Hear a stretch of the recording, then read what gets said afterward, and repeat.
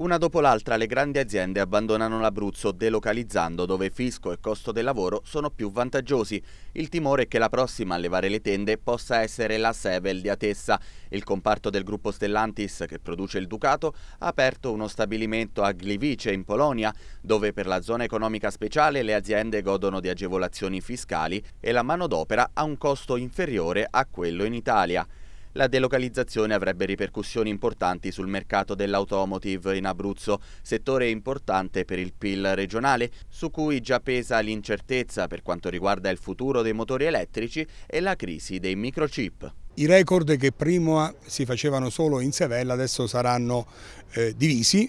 in quota parte qualcuno ci ha rassicurato che la Sevelle resterà stabilimento portante di questo, eh, di questo, modello di furgone che è stato prodotto, ma noi riteniamo che avere due stabilimenti significa aver perso il monopolio che avevamo come Severe di Atessa nella produzione di Ducati.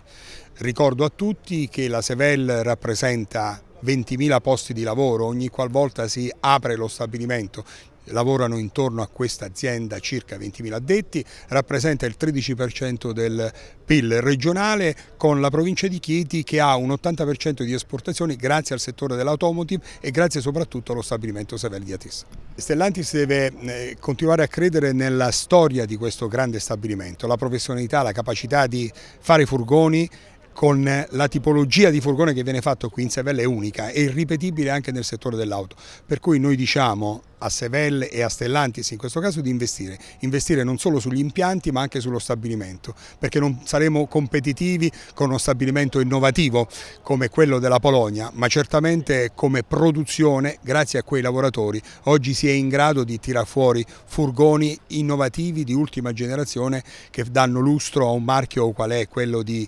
Stellantis. Serve una legge per impedire le delocalizzazioni, ha detto ieri il segretario generale della CGL Landini, dallo stabilimento Riello di Villanova di Cepagatti, un'altra azienda che ha già acquistato i biglietti per la Polonia. Che è necessario che si avvii una discussione rapida affinché anche il nostro Paese possa avere una legislazione che in un qualche modo impedisca che semplicemente dalla sera alla mattina le multinazionali possono decidere di chiudere, di delocalizzare le produzioni. E in questo contesto c'è un tema doppio da affrontare, non solo che al limite restituiscono i soldi che hanno ricevuto, ma quando si è in presenza di processi di questa natura, la difesa del lavoro parte anche dal fatto, se necessario e se non c'è la condizione di far cambiare idea alla multinazionale, che la multinazionale sia vincolata a fare in modo che quel, quel, patrimonio, quelle, quelle attività siano messe a disposizione di attività industriali che diano una continuità e una difesa del territorio.